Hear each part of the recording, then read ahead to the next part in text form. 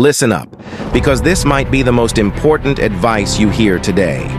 Your life is defined by your mindset. Winners and losers aren't born. They're made by the choices they make every single day. First, stop making excuses. Life is tough, and obstacles are inevitable. But excuses are just barriers you build to protect yourself from failure. Instead, see challenges as opportunities to grow. Embrace the discomfort, because that's where true growth happens. Second, set clear goals.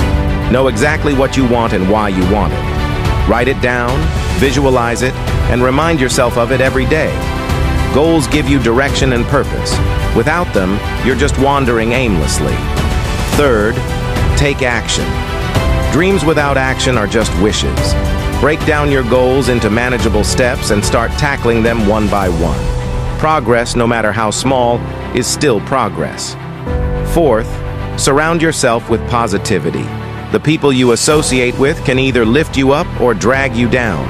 Choose friends and mentors who inspire you, challenge you, and support your journey. Fifth, never stop learning. The world is constantly evolving, and so should you. Read books, take courses, and always be curious.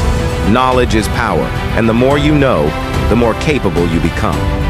Finally, believe in yourself. Confidence is not about always being right. It's about not being afraid to be wrong. Trust your instincts and have faith in your abilities. Remember, every successful person started somewhere, often from nothing. They faced doubts, failures, and setbacks, but they kept going. Your mindset is your most powerful tool. Use it to create the life you want. No more excuses, no more procrastination. It's time to step up, take control, and live the life you've always dreamed of.